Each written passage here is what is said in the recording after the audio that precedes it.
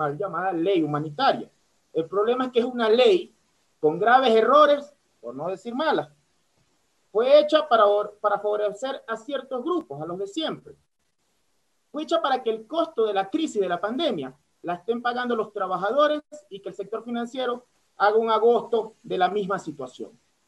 Hoy que se está presentando este cambio del orden del día, bueno, no hoy, se presentó hace varios días atrás, para que se nos informe del cumplimiento de la ley humanitaria en sus artículos 10, 11 y 12 y a las disposiciones de la Junta Monetaria Financiera relacionadas con la reprogramación de las operaciones crediticias, cabe mencionar que lo que esta Asamblea aprobó en su momento con la ley humanitaria fue totalmente inútil. En este punto que estamos debatiendo, no se incorporaron en la ley aportes buenos de algunos asambleístas, de muchos asambleístas, de distintas bancadas.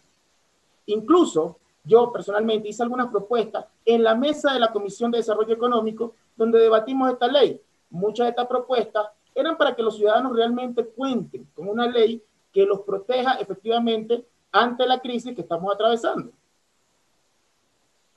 Si bien es cierto, dicen que no es bueno hacer leña del árbol caído. Creo que debemos recordar a los ecuatorianos algunas de las propuestas que se realizaron, que realicé junto al bloque de la Revolución Ciudadana en su debido momento y que probablemente hubiesen dado mayor tranquilidad a los ecuatorianos, que hoy continuamos viéndonos afectados en toda nuestra economía y en otros tipos de situaciones.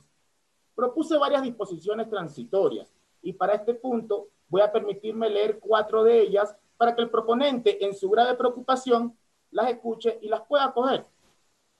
Una de ellas y la primera, y permítanme leerlas, era una disposición transitoria enumerada que decía que la Junta de Política y Regulación Monetaria y Financiera, dentro de los 10 días siguientes a la vigencia de la presente ley, deberá, debería emitir un procedimiento para que las entidades del sistema financiero nacional, las entidades del sector financiero popular y solidario, así como las entidades no financieras de carácter comercial que otorguen crédito, permitan a sus socios, clientes, usuarios y otras tarjetavientes una moratoria diferimiento en el pago de todas sus operaciones.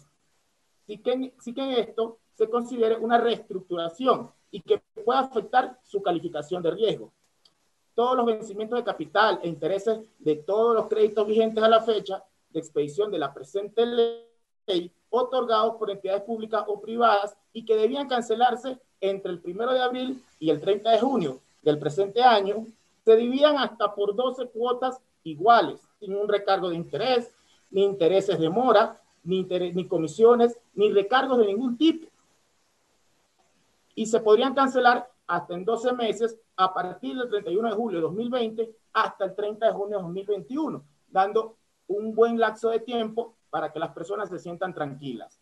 Este diferimiento extraordinario no supondrá trámite alguno, ni generará costos adicionales, ni comisiones para el socio, cliente, usuario y otras tarjeta la segunda disposición transitoria que propuse decía que la Junta de Política y Regulación Monetaria y Financiera, dentro de los 10 días siguientes a la vigencia de la presente ley, debería emitir una resolución que disponga reducir en un 50% las tasas de intereses máximas vigentes durante los seis meses posteriores a la entrada en vigencia de la presente ley. Esto podría darse para crédito productivo, crédito comercial ordinario, crédito comercial prioritario, crédito de consumo ordinario, crédito de consumo eh, de vivienda de interés público, créditos inmobiliarios, entre otros. La tercera disposición decía que la Junta de Política y Regulación Monetaria y Financiera, dentro de 10 días siguientes a la vigencia de la presente ley, emitiría una resolución que regule y reduzca los costos por concepto de servicios virtuales que prestan las entidades del sistema financiero nacional y las entidades del sector financiero popular y solidario. La cuarta disposición transitoria decía que la Junta de Política y Regulación Monetaria, dentro de los 10 días eh, siguientes a la vigencia de la presente ley, debería emitir una resolución que disponga reducir en un 50% el costo de los servicios a establecimientos por consumo pagados con tarjeta durante lo que resta del año 2020. Todos estos colegas lo propuse y lo vuelvo a mencionar, porque claramente existió interés de parte de la banca cuando se debatió y elaboró la ley humanitaria. Intereses que tratamos de extinguirlo, porque en su mayoría terminaban afectando a la ciudadanía. No debemos engañarnos, ya que la mal llamada ley humanitaria fue hecha por la banca, apoyada lamentablemente por asambleístas que integran algunas bancadas de esta asamblea, como lo son, por ejemplo, Alianza País y Creo. La mal llamada ley humanitaria no puso tilde sobre las IES como era necesario en ese momento. A estas alturas, colegas, no se le puede pedir peras al olmo. Hoy no podemos exigir que esta ley solucione los problemas de los ciudadanos porque su articulado fue muy débil, por no decir errado. Un articulado para, lamentablemente, burlarse de los ciudadanos. Y eso muchos de ustedes, colegas, tengo que decirlo, lo sabían, porque el debate se dio aquí y muchos y muchas veces nosotros y otros asambleístas que conformamos la bancada de la RC lo mencionamos, lo advertimos.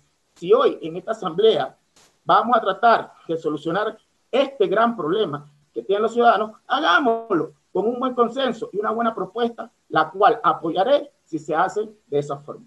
Hasta aquí mi intervención, presidente. Gracias.